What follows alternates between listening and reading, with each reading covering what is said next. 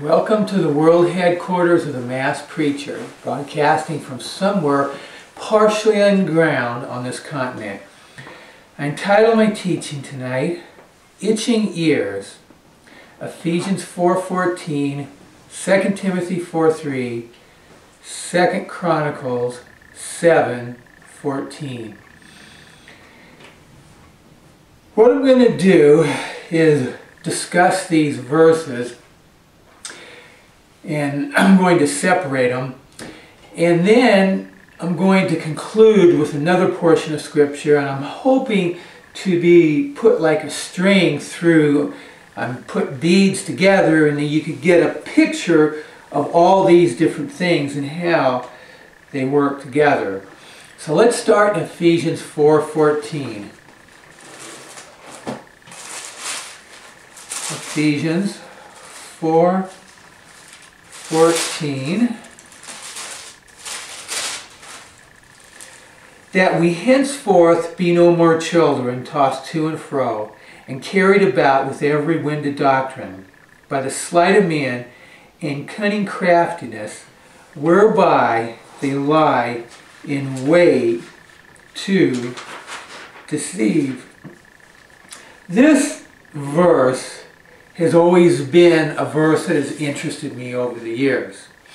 And I believe it sums up some of the bad teaching, the bad doctrines that come through the church today.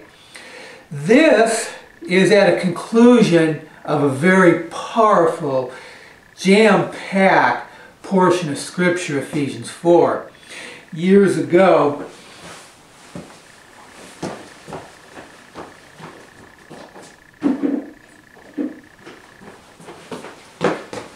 years ago there was a commercial for a children's uh, cereal.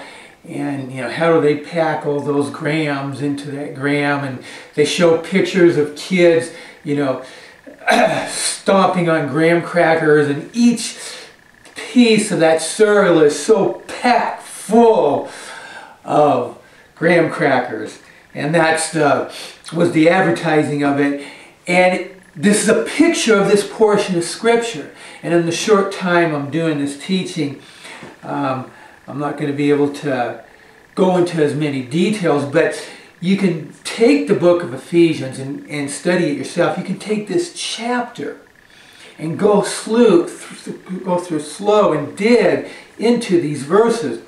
Well, we'll, we'll pick up here in verses 8, 9, 10. Um, a lot of different things, good, bad, I think are wrong, some things that are right about this portion of Scripture. To me, part of my understanding in the Apostle Paul, who later on is talking about the armor of God. He sees a, Roman soldier and the armor he has on and begins to give an allegory. To me, this is a, a picture of when the Roman Empire in Egypt, they would go into nations and they would conquer them. And they would take the leader of that country and they would parade them when they returned to Rome and there'd be flowers and incense and music and a big parade would take place and they would parade their trophies. And that is part of what this portion of scripture is when the Lord Jesus Christ rose from the dead in his resurrection and is a picture of a triumph what the Lord Jesus Christ did. And then he goes on into verse 11 where he talks about these offices. Uh, verse 12, the perfecting of the saints till we come to the unity of the faith, verse 13. But he's building to a point, and that point is in verse 14 about not being children, or there's one translation uses the word infants, that we're not babies. I remember as a kid growing up, we'd get mad at somebody and we'd say, you baby, you baby stop crying, you baby stop complaining. Because there's a view there of babies um, not being real nice to be around. Um, this portion of scripture that we no more be children, infants. Um, we have believers who, who grab hold of anything, much of what comes out there that is not very good.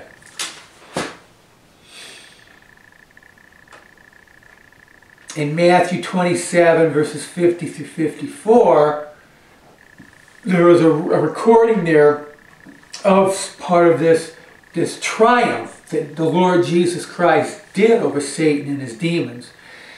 Uh, Psalm 68, 18 is a fulfillment of that. And 2 Corinthians 4, 7 talks about the treasures, which were what was taking place in Matthew 27, 50, um, 54. So we come to this point and why does, in, in my view and my take, with one wind of doctrine to another happen in the church? Why haven't we come to the full stature of a man? Why is because we have forsaken, or at least um, maybe belittle is not quite the word, but um, not realizing and not having these gifts. The scriptures there, this picture in Ephesians 4, you know, it gives the picture of how we come to a point where we're not infants in this warning that Paul gives. Well, we don't have much of these gifts in operation in the church today. Even in the people who would say and label themselves uh, non-cessationists, that these gifts are still for today, really don't practice that.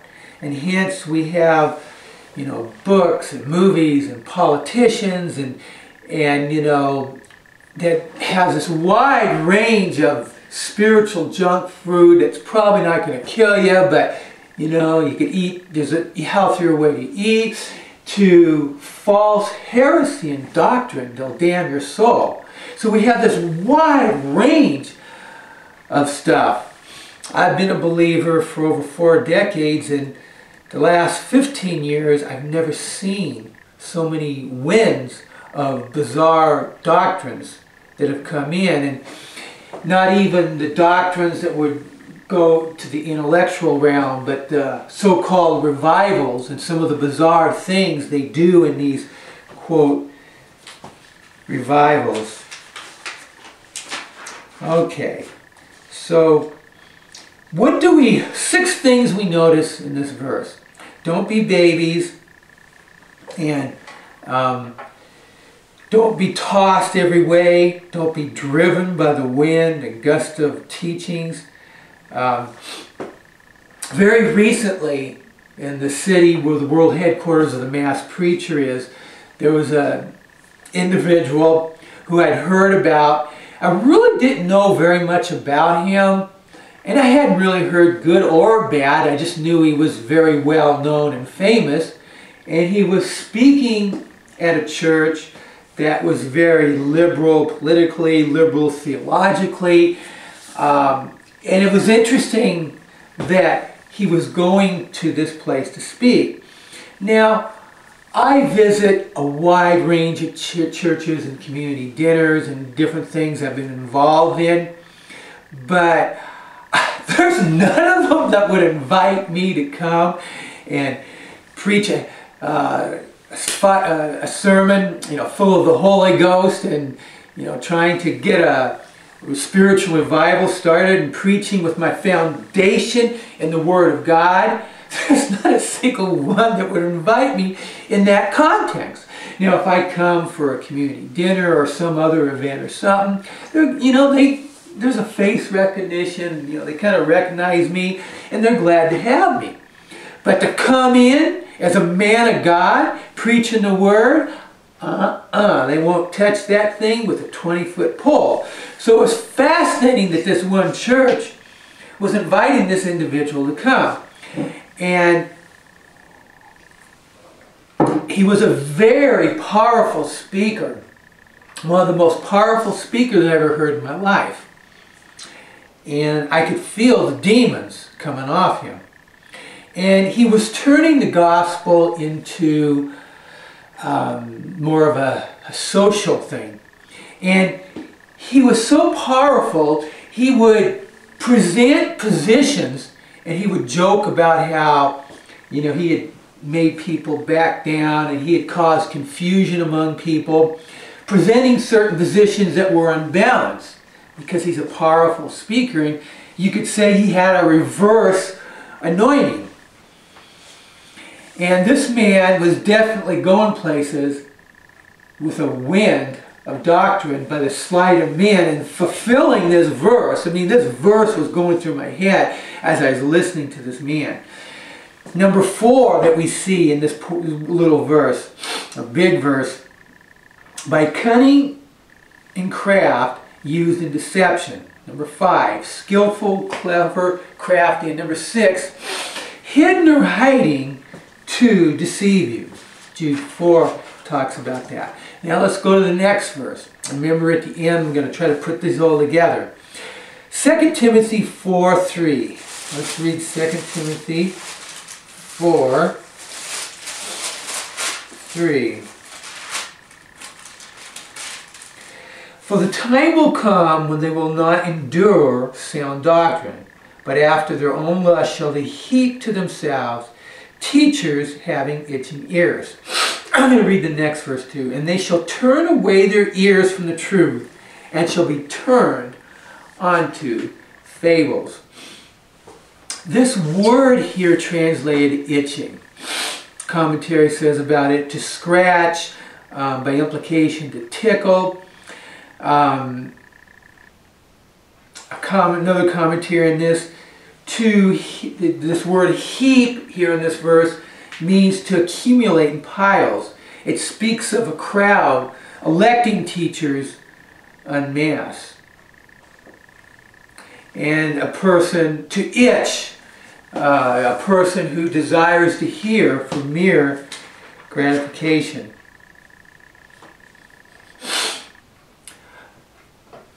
There, I've heard this story, what I'm going to say. I know an individual, and in her younger days, she was walking down the street and car pulled up and said, hey, you know, you're really something and I can make you a model. And this individual, you know, told him to get lost and jump in a lake and, you know, you're nuts. But there's these people on the take and scams who are looking for people who's looking to have their ears itched. And, what, and this little story that I told you is a perfect picture of people within the church willing to be a part of something to have an itch or desire sc scratched. You know, I have to say something, and um, I'm not a mean person, but uh, a lot of what goes on with the name of Christianity on TV. It's just an embarrassment. I mean, I don't know how else to say it. I'm just embarrassed by it. And if I was a, a false religion in another country, I would allow them to broadcast all day long because I would tell my people, you see what whack jobs this Christian religion is? They would do more advertising for me than me trying to, you know, criticize the religion. And I bring this up because how do these guys get away with it? Because these people are being told something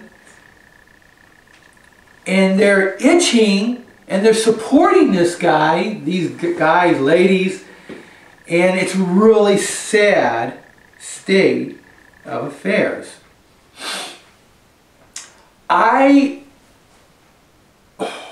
have only heard in my, that I can remember, and I could be wrong, maybe I've forgotten, in my over 40 years of serving the Lord Jesus Christ, being, quote, in this thing called the church, three ministries, mine one of those three, only two other ministries that have ever stepped out and tried to address some of these abuses that have gone on. I'm not saying there isn't more, but I'm saying that it sometimes we get caught up in our own little world and we don't see what's going on in this other thing, this thing called the body of Christ. Okay, let's go to Second Chronicles 7.14. Okay, Second Chronicles 7.14. If my people which are called by my name shall humble themselves and pray, and seek my face, and turn from their wicked ways, then will I hear from heaven and forgive their sin, and will hear, heal their land. I found nine parts of this verse. God, if my people, my people, God's people. Number two, called by God's name. Number three, will humble themselves. Number four, pray. Number five, seek God. Number six, to turn from their sin. Number seven, God promises to hear. Number eight, God promises to forgive people's sin. Number nine, God will heal their nation. The word humble here in our English Bible, Hebrew um, word kana, um, the phrase in the Hebrew Old Testament here, uh, shall be humbled. The English translation of, of, of the, that form of that word. To bend the knee, hence to humiliate, to vanquish, to bring down low into subjection, to subdue. And so the picture here that the writer is giving us of what God wants from our heart towards Him. We read earlier 1 2 Timothy 4 4. And um, there is an old translation from 1539 of 2 Timothy 4 4. And shall withdraw their ears from the truth and shall be turned unto fables. This word fables, Greek word moothus, a myth, a fiction, a tale. A distinction here. When Jesus told the parable about the sower and the seed, he was not trying to tell a story about a real person. But he was using this allegory, if you will, this parable, to illustrate a real truth, a real idea, Matthew 3.13. Now, the definition of an allegory is, comes from the Greek word allegoria, from description of one thing under the image of another. There was a cooking show that I, I love, and um, he was talking about collard greens, and he was talking about when you cook them, because I come from kind of a health food nut, you know, eating raw vegetables, but with collard greens, you really need to cook, not overcook them to a certain point to release some of the nutrition. And he goes through in a technical way and explains that. I've also been a doctor of Chinese medicine that it, we had, I had talked to before concerning carrots and that same theory. Well, this is what parables and allegories do. Is it's like cooking this truth to release this revelation that's in it. Now, people who Second Timothy is talking about here in, in Ephesians 4.14, um, these are people giving stuff, telling stories, telling fables, telling lies that have no truth. They're empty calories, spiritual junk food, or toxic things that will kill you. Romans 12, verses 1 and 2. And now let me see if I can put this whole thing together here. Romans 12, 1 and 2. I beseech you, therefore, brethren, by the mercies of God, that you present your bodies a living sacrifice, wholly acceptable unto God, which is reasonable service. And be not conformed to this world, but be tr transformed by the renewing of your mind, that you may prove what is that good and acceptable and perfect will of God. The Greek word here that's translated transform, met or this is where we get the word metamorphosis. There's a picture here of this transformation. We receive Christ, we're born again. And there's other scriptures in 1 Corinthians 15 that talk about the new body we're going to receive in heaven. But there's this transformation. We're justified, but we're not sanctified. And there's different arguments on the whole sanctification, justification thing. But to me here, these verses are like a caterpillar. And as we grow in Christ, I had some situations at my work um, last October, October 2014, and I mean, I was feeling pretty good about myself. I thought I had it all together, and these situations arose, and I had to punt the ball. I mean, I just had to, you know, step off the gas pedal and just, okay, Lord, put it in your hands, and not try to, um, you know, be the big boss and in real things. And things have really worked out good, but it was this transformation, and it's happening out until the time that I go to be with the Lord Jesus Christ. Well, so what God is doing you know, in our lives in these things. We have a verse that's like a tornado that comes through, Ephesians 4.14, it comes through a neighborhood, wrecking the place. I have seen doctrines come into the church and just destroy churches. And there may have been good parts to uh, a movement, so-called revival movement, some aspect of revival, a book, a politician, a person, but it goes crazy. It goes, just goes nuts and destroys churches. And these movements and books, they come into a church and just destroy it. And then 2 Timothy 4, 3 through 4 talk about, you know, people wanting things that are not good for them. But 2 Chronicles 7, 14, that there's a repentance process that we need to go through and put God first in our life. And then this is what this transformation is for us to have victory in every area of our lives.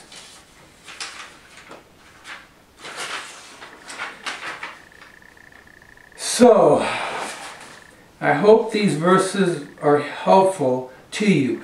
And every person listening to this is personally responsible to Bema seat for these verses, for the itching ears, that we don't have itching ears.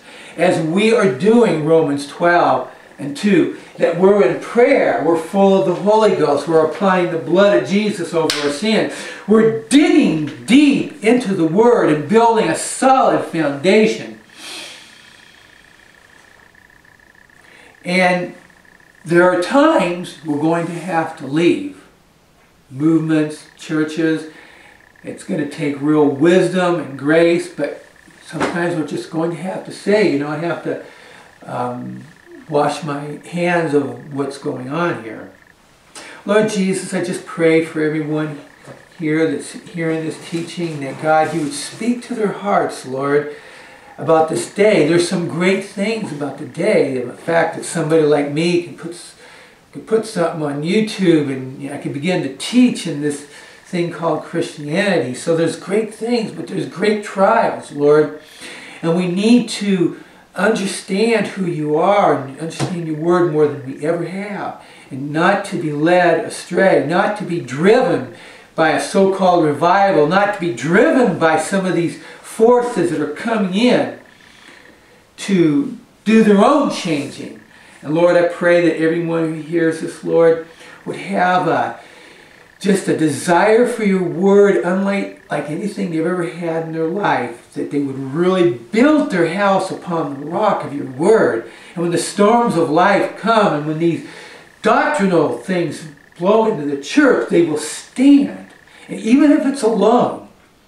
And Lord, for people who are a part of movements and have maybe left because of some of these things, I pray that you would encourage them. I pray that you'd give them a revelation about what they should do where they are at. And I pray that you would put in your heart a need to study the book of Ephesians and just and really devour the scriptures. In Jesus' name. Signing off from somewhere partially underground, the masked preacher bids you good night.